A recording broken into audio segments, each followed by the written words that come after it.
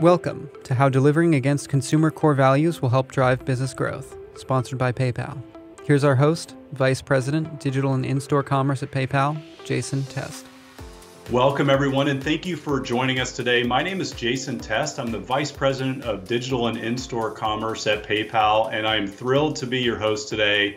I think we're going to have a fantastic event. I really think you're going to get a lot of value out of it. We have some great guests, and we also want this to be an engaging conversation today. So uh, I'll direct your attention to the bottom of the screen where uh, you can find a lot of additional resources and you can even submit questions for our guests. Uh, and also feel free to join in on the conversation on social using hashtag PayPal webinar and hashtag customer retention. We're also interested in your feedback. So there's a survey that you can find at the bottom of the page and just click on that icon to provide some survey feedback at the end. Okay, so let's get going. And before I invite our next guest in, uh, I really just wanted to provide some background and context on our topic today, delivering against consumer core values. I, am pretty sure we can all relate to the fact that over the last few years, um, we've gone through a lot of change and, and it's been some unusual times. And consumer values have really changed and evolved as many people have taken an opportunity to really reflect on and, and reassess what's important in their lives. Uh, and for all of us in our line of work, it's really important that we keep track of that, right? The importance of understanding how consumer values have evolved, the impact those changes uh, are having on how consumers are purchasing um, is really important for us to be able to continue to drive growth. And for most of us, what we value determines what we do. And so, with that in mind, at PayPal, uh, we did some research. We wanted to go out and talk to our users and really understand uh, what, what's on their minds. So we did some research to really understand the shared values of the 425 million uh, active users that we have across the globe. And we wanted to look deeply and understand their core values and um, what's really behind the decisions that they're making and including shopping preferences. So today we're going to pass along uh, that research to you to help you understand uh, a little bit more about how to engage our PayPal audiences who are highly engaged shoppers, right? They tend to uh, spend 12% more when they shop, and they tend to complete 34% percent more uh, checkouts. And to share those research findings, I'm pleased to introduce David Allison, the founder of Valuegraphics. David, welcome.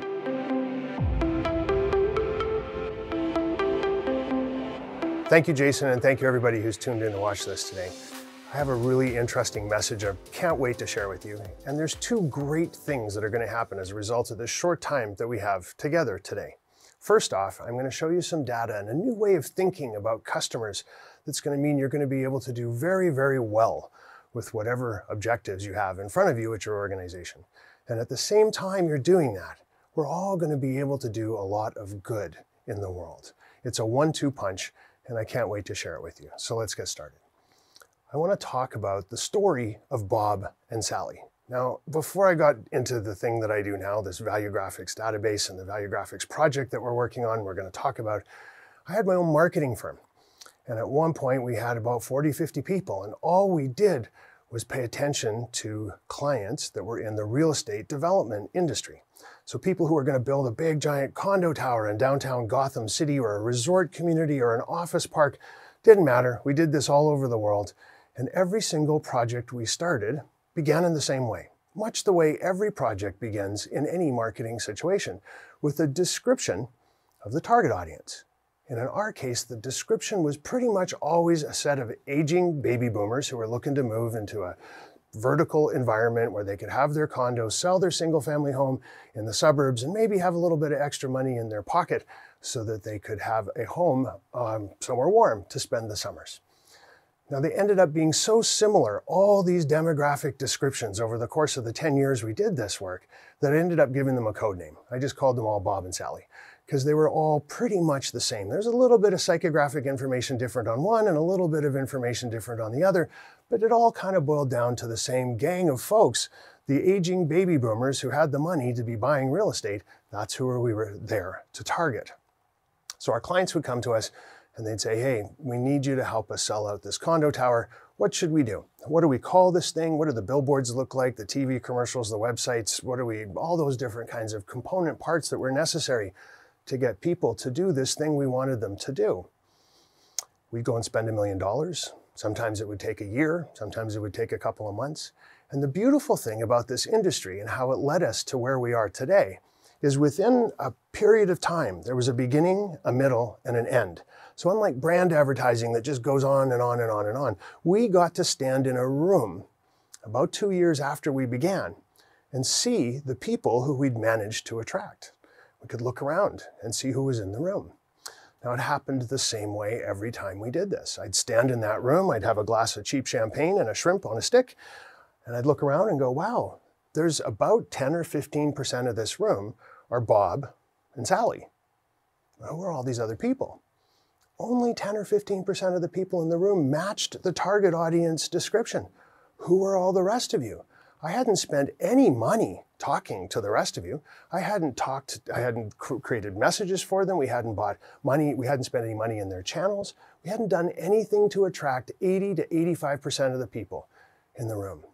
So who were these mysterious 90% of the people in the room? That was the question that launched us into trying to figure out what made people do the things that they do. Now, it sort of starts back here. Every organization, including yours, including Business Insider, including PayPal, including everybody who's watching today, we all wake up and try and do the same thing. We're all just trying to get some folks to do something we'd like them to do. It's really that simple. All the rest of it is just complications that humans like to place on top of bureaucracies to make companies more interesting and fun. Uh, but really, at the core, we're all just here trying to get some folks to make a decision we'd like them to make. So it kind of begs the question, how do people decide to do something, including buying your products or services or brands? Let me tell you a story. It's called Three Friends in an Alley at Midnight. So three friends are out having a few drinks. They haven't seen each other for a long time because of COVID and isolation and lockdown, and now they can. So they're out at their favorite pub. They're having a great time. They've had maybe one or two, two drinks too many. So someone, the smart one in the group, puts up their hand and says, you know what? It's time for us to go we should call it early morning tomorrow. Let's get out of here. So they put on their coats, they walk outside and they're walking down the street and they're punching each other and laughing and telling old college jokes and, you know, singing songs and being a noisy drunks like everybody is when they leave a bar late at, mid- at midnight after having one too many drinks with their friends that they haven't seen for a while. And they turn a corner and there's this dark alley and they have to decide what they're going to do. Now, friend number one, the only thing we know for certain about friend number one is their primary value in life is adventure. And they can't wait to go down that dark alley. They think this is the best way this evening could end. I'm with my friends. I love you guys. We're a little drunk. Let's go down the dark alley and see what happens. Who knows how this will end? How much fun is that going to be? And friend number two, the only thing we know for certain is their primary value in life is safety. They don't want to go down that dark alley. They're thinking to themselves, my gosh, why would we go down this dark alley? That's crazy. I'm a little drunk. I love you guys. This isn't, the... so they try and get everybody to change their mind. Let's go back to the bar, this person says. Let's turn on the lights. We might even need to call the police. The last thing we need to do is go down that dark alley at midnight. And the third friend, the only thing we know for certain about the third friend is their primary value in life is friendship. They don't really care if we go down the dark alley or we go back to the bar, as long as we stick together because we're a little bit drunk. I love you guys. That's the story. And the moral of the story is that we didn't need to know anything about these people, anything about those three individuals faced with this decision other than what they care about, what their values are. They didn't need to know either. They didn't check back into their demographics and say, well, gee, I'm faced with a dark alley at midnight. Am I 18 to 24, 25 to 36, 37 to 45? Am I male, female? Do I have a white collar job? Do I have a degree? Do I have a master's degree? None of that stuff matters. The only thing that matters when it comes to understanding how humans make decisions about anything is what do they care about deeply enough that it's one of their core human values. Now, it's not just me who has this story. If we look into the fields of behavioral science, they all tend to agree on this same point as well. Now, something you need to know about behavioral scientists who work in psychology, psychiatry, sociology, neurology, they don't agree on very much. But one thing they do agree on is this basic principle that what we value determines everything that we do, and that we can't help ourselves. As human beings, we're biologically, neurologically, psychologically hardwired to wake up every morning and make decisions all day long that align with our values. That's it. Let's talk about neurology specifically. Neurologists will talk to you about the prefrontal cortex of your brain. Now, you've heard it referred to as the CEO of your brain. So the CEO of your brain decides how you're going to behave. It makes all the calls in terms of what decisions you're going to make. Looks at all the incoming data and sits there at its big prefrontal cortex desk like a good CEO and says, wow, look at all this stuff. Well, based on what I can see here, we're going to go that way we're going to go that way. Something comes along that might be good for your family, your prefrontal cortex, if family is one of your values. We'll say, gee, we need to get that thing. Let's go chase that. And we'll feel happy if we get that. Something comes along that might be bad for your family if family is one of your core values. And your prefrontal cortex is going to say, well, gee, we should avoid this. Let's get away from here. And we're going to feel anxious just as an incentive to make sure that we get away from this thing that might be bad for one of our values. Our prefrontal cortex only uses that one set of filters to make every decision on our behalf. What does this human being value? In fact, what we value determines everything we do. Whether we know it or not, always has, always will. All our decisions, behaviors, and emotions are rooted in and are, have their source in what are our core values. So there's the answer, right? If we're going to try and get a group of people to do something that we'd like them to do, all we need to do is understand what their values are. Simple. Now we'll have the answer to that mysterious 90% of the people who did not match the demographic and psychographic descriptions that we all start our campaigns and our marketing efforts with. But there's a problem. Of course, there's always a problem. The problem is there was no way to understand the shared values of an entire target audience of people. So we sat back and said, well, I guess we should build one because this will be the key to unlocking that big question. How do we get a group of people to do something we'd like them to do? If it's all about their values, we need to be able to say this group of people have these values in common so that we can just connect the dots between our thing, our product or service or brand, and the things that they're motivated by. Simple. Well, not so simple. We needed to find a model for this. So we looked to the Human Genome Project. Now, the Human Genome Project, I'm sure you remember about 10 years ago, the geneticists around the world got all excited because they'd finally collected all of the component parts and identified all the component parts that are necessary to understand a biological human. Call that the hardware for a human. Depending on which of those parts are in place, you're a tall, you're short, you're blonde, you're redhead, you've got dark hair, you're a man, you're a woman, you've got different amounts of pigment in your skin. All that stuff is determined by which of these things are in which place for you as an individual. So we said, that's it. We need to do the same thing. We're going to launch the Valuegraphics project, and we're going to collect all the component parts that are necessary to understand the operating system that drives that human. What's the software for that hardware? That was the question we set out to answer. Now, we've done this.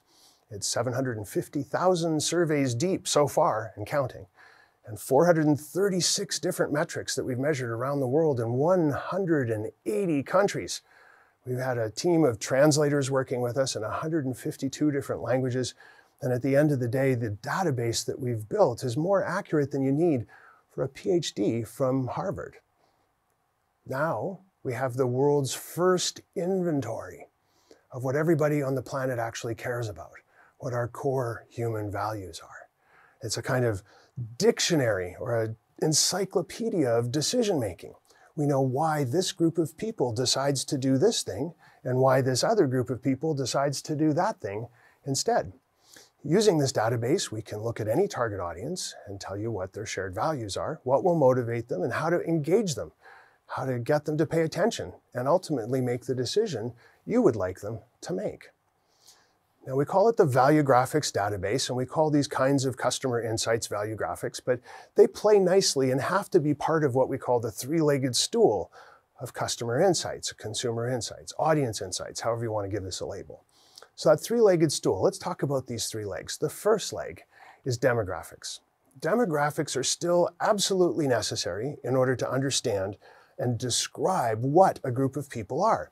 Sometimes, depending on the category you're in, knowing that they're male or female or young or old or rich or poor, sometimes those things are necessary to understand and kind of put a fence around your target audience. So we go back to my real estate days, you know, if we're going to sell a penthouse in downtown Gotham City for $4 million, or downtown Gotham City is going to be $50 million, that group of people are not going to be 18 year old women who work at the grocery store down the street. We know that's true, but we have to have beyond understanding of what these folks are.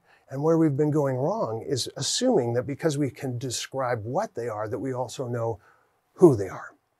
And that couldn't be further from the truth.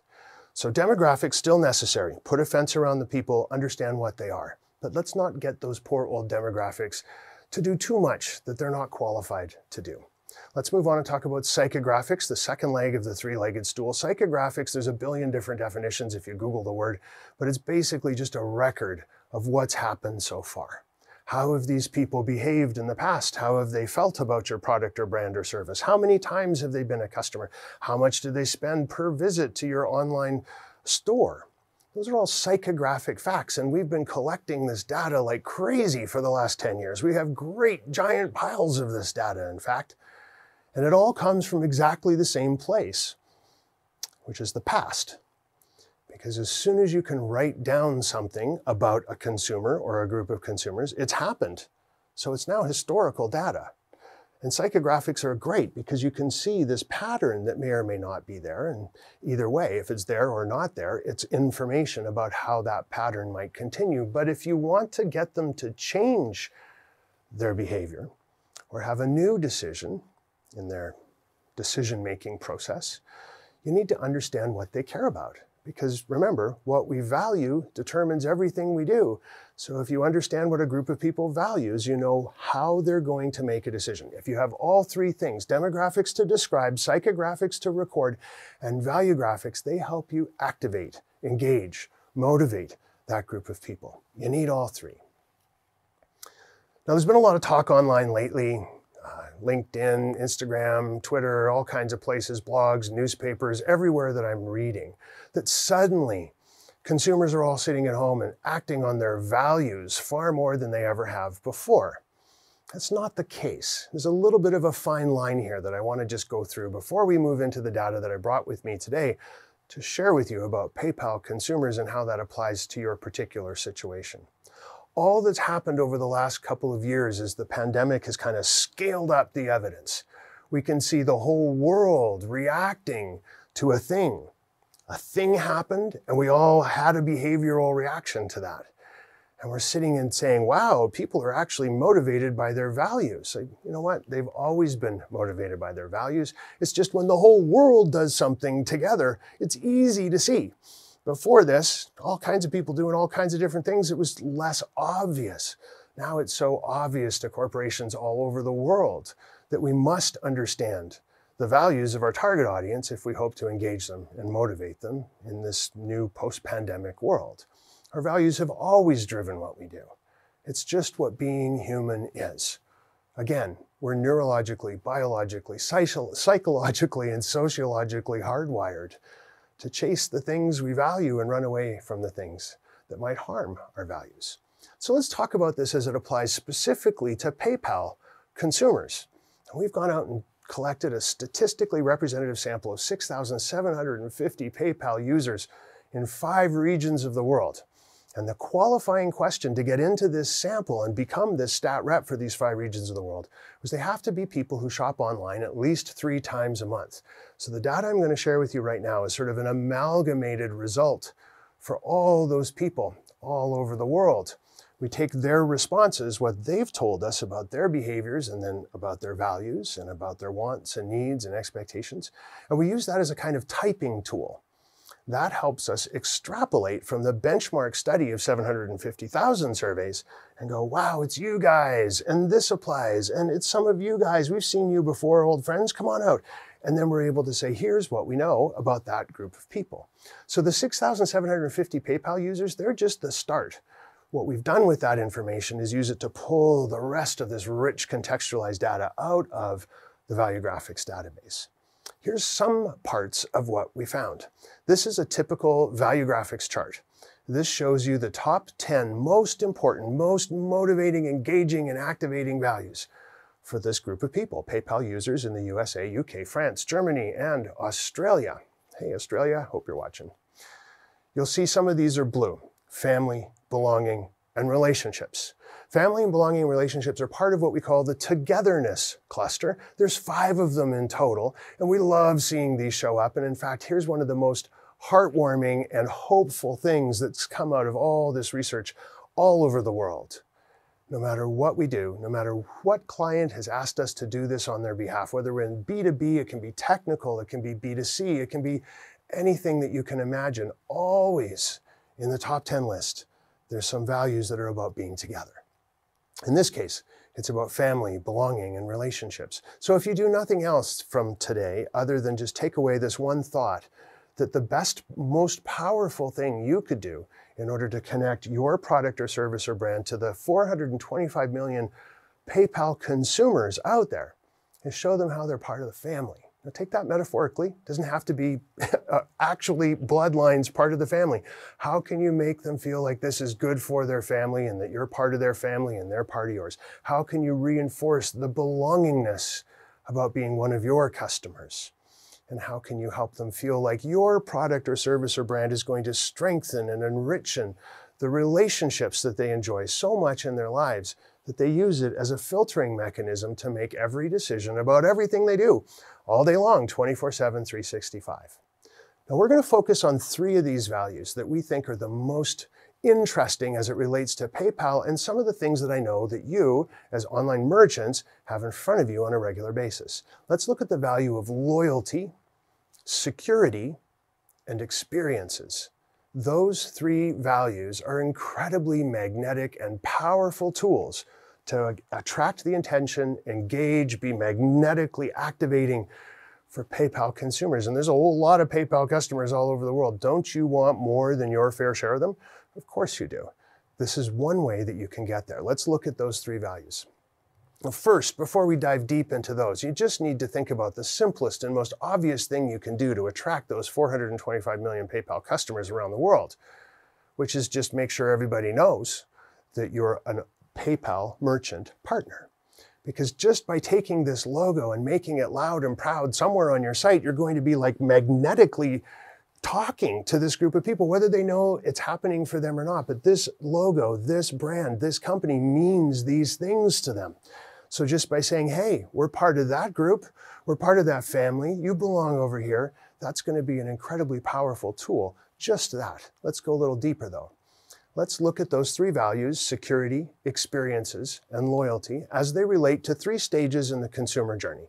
Acquisition, conversion, and retention. We all have to try and crack these three nuts, don't we? So let's use acquisition as a way to talk about how security can be an incredibly magnetic value for you and how experiences can help with conversion and how loyalty as a value for PayPal consumers can help you with retention. Here's the first one. If we're talking about acquisition, we all have to do this, right? We all have to get people to pay attention to us and engage with us and get in the top of the funnel, whatever kind of terminology you want to use for this stage in the process. But at some point, you need to just go, hey, come on over here and pay attention to what I want to say to you for a little bit and see if this is something for you. So that's the acquisition portion. Now we're going to use security as a value to try and build acquisition rates that'll make everybody proud. Now, when we dig a little bit deeper into the Valuegraphics database around security, specifically for PayPal consumers, we know that what that means to them, the way security manifests itself in their lives, is around stability. They're magnetically attracted to anything that'll give them a sense that they're being that they've got more stability in their lives, that all the I's are dotted, the T's are crossed, there's no surprises waiting for them around the corner. So you need to celebrate your security strengths whatever those might be. Now, there's a certain cost of entry around data security just to be in the market that you're in and doing the job that you're doing now, but what else you got? What's hiding in the back page of your website that you should be pulling out to the front page of your website and saying, we are so secure, you never seen anything so secure. We're the most secure thing since security was a baby. The more you can do to talk about security and emphasize those things for customers, particularly PayPal consumers, the more magnetic you'll be. Now, part of the story here, of course, is that PayPal is the number two most trusted brand on the planet. That's because this security value is so loud and strong for PayPal consumers. It comes oozing out of that brand. And by being a PayPal merchant partner, you're already well on your way to using security in the most magnetic way possible. But think a little harder. What else have you got that can reinforce security? And that's going to help you attract attention and get that acquisition rate up to where you'd like it to be. Let's move on to conversion, the second of these three stages in the consumer journey we're going to talk about today. And to do this, we're going to look at experiences as a value. Now, experiences, again, when we dig a little deeper into the value graphics database and see what does experiences mean to this particular group of consumers, PayPal customers in those five regions of the world, what they mean is that it's all about responsibility before you have those experiences. Experiences are great as long as you're being responsible about those experiences. They don't, again, it kind of relates back to the first one, right? It's all about avoiding surprises. Don't do anything rash here. Don't do anything that's kind of off the cuff. Make sure you're looking after your responsibilities. And then, sure, by all means, go out and have all the experiences you want. A seamless and unique user experience will deliver this. Now, you think about all the different places and all the different ways that PayPal can help you with this particular piece of the story and it's it's legion. There's all the different ways you can check out all the different platforms all the different devices. Your consumer will have that seamless unique ux just because you're a paypal merchant partner you need to reinforce that. You need to tell that story. Push it up to the front. Don't hide it on the back page. Make sure that it's a key part of your story. By the way paypal's not paying me to say this stuff. This is the data speaking and saying these are the things you need to be doing in order to be magnetic for the PayPal consumer and get more than your fair share of them coming to your site. Let's look at retention. Now, retention, we're going to try and solve this one. How can we boost retention? We're going to try and solve it by using the value and the importance that the PayPal consumer places on loyalty. Now again, when we dig a little deeper into the database and see what does the PayPal consumer mean when they talk about loyalty, it's loyalty that must be earned. You have to make the first move. They're not gonna. You need to be the ones that say, you know what, we're gonna be really loyal to you. Because if you do, it's a reciprocal value. These folks will be like, wow, you're going to be loyal to me? Okay, I'll be loyal to you. I'll cut you a little bit of slack if I don't have the best customer service experience one day. Maybe I got somebody on the phone in tech support who's a little grumpy. It's okay. I'm loyal. We all want loyal customers. This is how retention rates get where we need them and want them to be. So remember, loyalty must be earned. So what's an easy way to do this is just to be noisy with your rewards program. PayPal can help you with this one too. Don't be shy about your rewards program. Don't leave it till checkout. Talk about it up front. Make sure everyone knows you have a rewards program, that you're offering them a gift, even if it's the most minor thing, to say, listen, I'd love you to be part of our family. I'd love you to be a part of the relationships that we value. I'd love you to feel like you belong here. Loyalty relates back to all the other values and telling this beautiful, complete story to the consumers that you're trying to acquire, trying to convert, and trying to retain. Values are the answer. They're kind of a great pathway that leads you to that intersection of purpose and profit. Now, what we've been doing is what we call values thinking. It's, there's a big process we teach our clients how to do. It's kind of like uh, design thinking, and that's on purpose because we named it like that so it would trigger that and kind of stole their thunder a little bit. All it is is a simple process to help you understand how to make decisions, but instead of keeping design at the center, we'd like you to keep values at the center because after all, values determine everything we do. So values thinking boils down though to this, this simple two things. You got to understand what you've got to offer. What are the features, advantages, benefits? What are the stories you can tell? Somehow you have to make a decision about which ones to put forward and to push to the front of your story in a marketing perspective. So choose the ones that relate to what they want. It's that simple. Look for the overlap between what you got and what they want. That's values thinking. That's what we've been doing. Saying, okay, using this value and this thing that we could talk about, let's find a place where they overlap and solve the problem that way. So that's values thinking. You're now all experts. You get a PhD in values thinking just for watching today.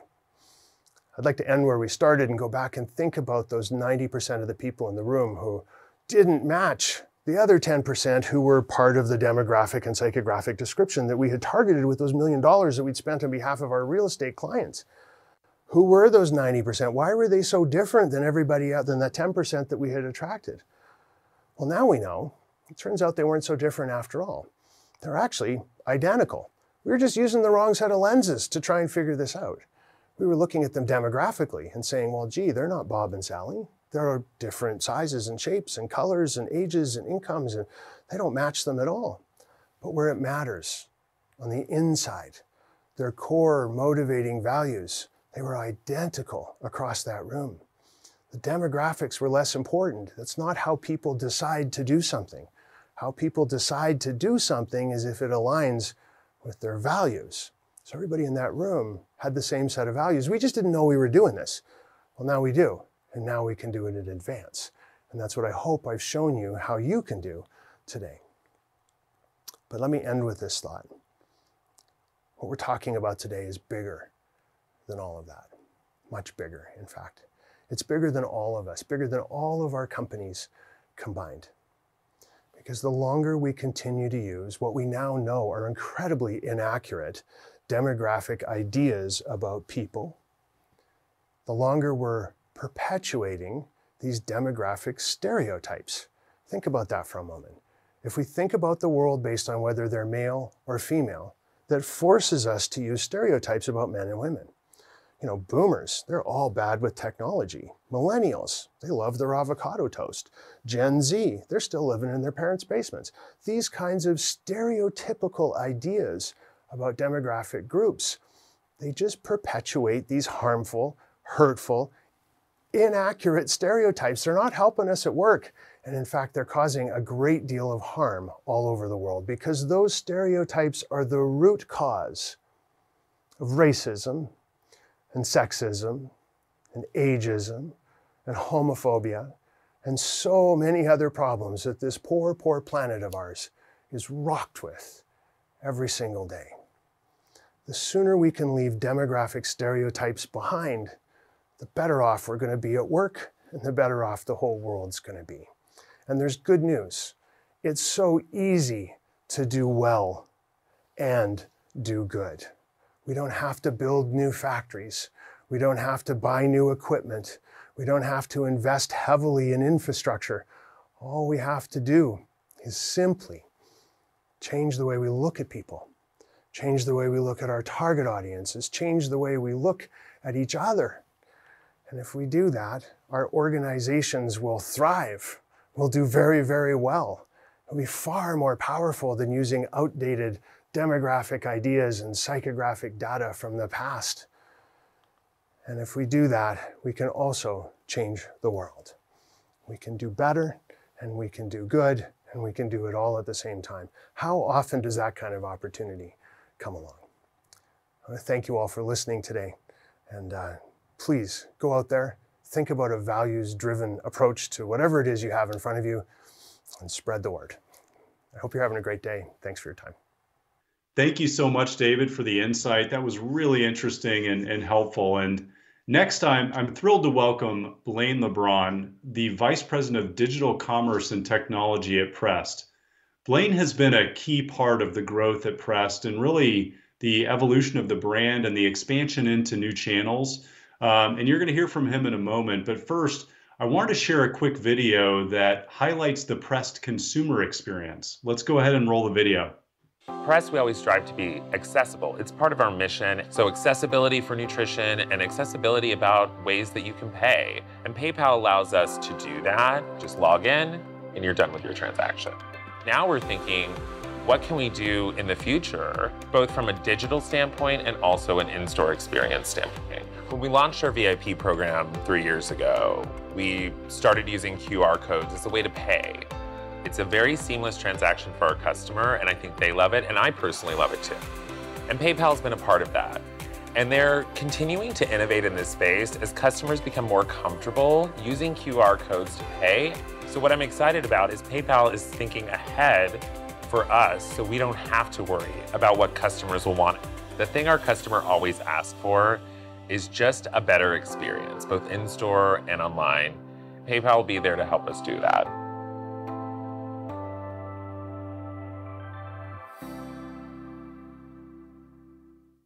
All right, welcome, Blaine, and thanks so much for joining us today. Jason, thanks for having me. We are so excited to be here. Awesome. Well, we have a very interesting topic and theme today.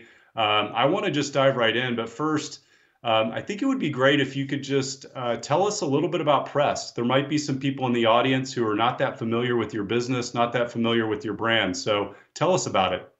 Yes, thank you. Pressed is a cold pressed juice and plant based treats business with over 100 locations nationwide in seven states. At our core is our retail experience and our brick and mortar stores. Some customers may be curious on how to add plant based foods into their diet, and our store teams are there to help educate customers on ways our products can do just that. Also, our products aren't just juice. Uh, we have cold pressed juice, acai bowls, and we also have a plant based soft serve that tastes really great. We believe that living a plant forward lifestyle doesn't mean you have to sacrifice flavor for nutrition. Excellent. And it's it's been so great to see the growth of your business. And in fact, I, I love that I saw that um, just four short years ago, uh, your digital sales, they've grown so much. Four years ago, digital sales accounted for, I think, 2% of your overall sales. And that number has now grown to an impressive 65% and continues to increase. Tell us a little bit about that. I mean, what, what's driving that? What steps did you guys take to see such an impressive increase in digital sales?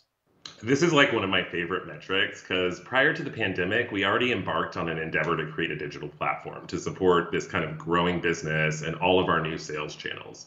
Pre pandemic, we were at 25% digital sales, really fueled by our VIP program, which utilized QR codes for payment. Now everybody's familiar with the QR code, um, but back then it was actually kind of odd to our customer. Uh, when the pandemic hit, within weeks, we were able to pivot the business and added things like curbside pickup, contactless payments, and local delivery straight from our platform. A lot of businesses really had a challenge doing that. Um, the news back in the day was everyone trying to get on Uber and Grubhub and all these different services. We already had a lot of our business coming through our digital properties. So we were able to pivot basically overnight. So overnight, our business went to about 85% digital which uh, you know we expected. But then here we are two years later at 65%. And I think the most surprising aspect is that customers enjoy the level of convenience these digital sales channels offer them, and they continue to use them. It's also fueling our membership and VIP programs, which continue to really grow, speaking to the concept that customers really value through their loyalty those kind of um, offerings. Great, and I know that you you have a very customer centric mindset at Pressed, and when you think about the key strategies that have really fueled your growth, um, what role did understanding the consumer play in the evolution of Pressed marketing strategy? Yeah, we actually did an exercise a few years ago to really understand the different types of customers coming to Pressed. And one of my favorite personas that came out of this was the Pressed enthusiast. And our customers are extremely loyal to the brand and not only purchase themselves, but also promote us to their family, their friends, and coworkers. And I love being in stores and speaking to these customers. They always have like the best ideas and not just from a product standpoint, but most of my tech roadmap is built around requests from our customer. Alternate payment methods in our flows was something I got from our customers as well. They wanted an easier, shorter, contactless way to check out or sign up for our VIP program or our recurring orders program. And I was really impressed with the adoption of PayPal and Venmo. Uh, when we implemented the drop-in UI from Braintree, we also saw things like a 57% increase in average order value over like traditional credit cards with Venmo customers. And back to this idea of loyalty, being a Pressed enthusiast is one of my favorite things about Venmo. It's not just a payment platform, it's also a social platform where people are sharing what they're purchasing and their love for a brand. That's great. Yeah, a lot of our merchant partners really love that social aspect of Venmo as well. Um, relatedly, I wanted to talk for a minute about loyalty. So earlier in the discussion, we heard David speak about the importance of loyalty, right? Um, leaving consumers with a positive brand experience uh, that ultimately drives repeat purchase. In your mind, what does customer loyalty mean for Pressed? And how are you investing and supporting um, that effort to drive loyalty? I mean, one of the things I love about being at Pressed is that we've always been an innovator. Uh, when I first started four years ago, our VIP program was just a concept, and you'd pay $10 a month, and that $10 could be used to buy our products at a special VIP price, both in store and online. The concept for customers at first was a little confusing because we weren't charging a fee like everybody else. If you enjoyed two press products a month, it was a no brainer because you'd save money. Obviously, this spoke to our core consumer, which is why the program really took off. It outpaced any of our initial goals. And now this concept has really expanded and is more commonplace in the market. But we were kind of, I think, one of the first to market with a concept like this. More recently, though, one of our goals has been to make products even more accessible. And during the pandemic, we solidified our press Post model. I'm very proud of it. It is our take on a ghost kitchen. So rather than using a commercial space or commercial kitchen, we partner with a small business like a coffee shop or a restaurant, and they fulfill our pickup and local delivery orders, and then we pay them a revenue share for the orders that they fulfill. It fuels loyalty for the customer because, like, a really great example is one of our customers in Whittier when we opened that press Post was so excited because uh, she was driving all the way to Pas- Pasadena and LA traffic for 45, 50 minutes to enjoy press products. Um, but now, with a post in her neighborhood and in her community, um, they could just pick it up down the street. It's just another way we're driving loyalty through convenience. The other thing I love about the press program, too, is it benefits our customer, but it also benefits the small business owner because now they're also gaining revenue um, without any additional labor. And one of my favorite stories coming out of this was uh, one of our operators actually gave a raise to all of her staff uh, with the money that she had received from Pressed for fulfilling our orders. That's great. And I, I love the Pressed Post model and, and the impact that that's having on the community and how that really ties in with the, the shared core values that I know your organization has and, and that we have as well. Um, and also, I wanted to talk about how did your payment strategy fit into the larger business objectives? And, and as you were discussing your strategic plan internally, I'm curious, how did that go? What what did the conversations with your leadership team look like? Yeah, I mean, when we were vetting a payment processor for our digital platform, we had uh, a formal vetting process. Uh, the payment space is full of legacy technology, and finding partners that we could scale with are platform is the differentiator here. PayPal has been an amazing partner to work with, and they were able to power our subscription VIP program without all the fees that other providers typically charge. And um, also, the PayPal tech is built with ease of implementation in mind. My dev team loves working with Braintree because it's so easy to work with and implement. That's great. And we obviously very much appreciate the partnership as well. Um, I have just one more question for you. So, as you look off into the future, obviously you've got lots of opportunities in front of you. What's next for Pressed? Oh, we definitely have some plans for the brand. And um, I think the overall goal is to continue to innovate within the quick service restaurant space. Um, my motto has always been uh, with tech at Pressed to create a frictionless experience for our customer but not just our customer, also our retail associates. So this year we're focusing on in-store tech to allow our associates to focus on what they do best, which is educating our customers, interacting with them, driving loyalty that way. And we want a seamless checkout both in store as well as online. So that's going to be our focus this year, um, as well as interesting projects like Press Post. So we're really exciting, uh, excited for the, the future. Fantastic. I can't wait to see it. And uh, we're thankful to be your partner and, and be on that journey with you. So thank you so much. Thank you for being here today. Thanks for sharing your story and your valuable insight. Really appreciate it. Great. Thanks for having me. I really appreciate it. Absolutely. And, and to our audience, as we wrap up today, once again, I just wanted to thank David and, and Blaine for joining us. Um, we hope you had some took away some some good insight and um, possibly even were inspired by the discussion today and the significance of understanding and delivering against consumer core values. I think that's the key. Um, and I'll say for us at PayPal, we know that winning the hearts and minds of consumers doesn't only happen at checkout, right? It happens across the entire customer journey. And that's why we're investing, constantly investing in um, really understanding the core values uh, of our customers. And we're investing in innovation to develop new solutions beyond transactional payment tools that will help you drive brand loyalty and retain more customers.